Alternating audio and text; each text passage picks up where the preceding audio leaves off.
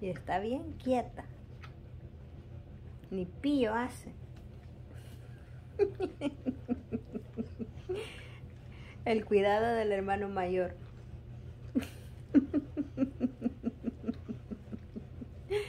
Estos son locos.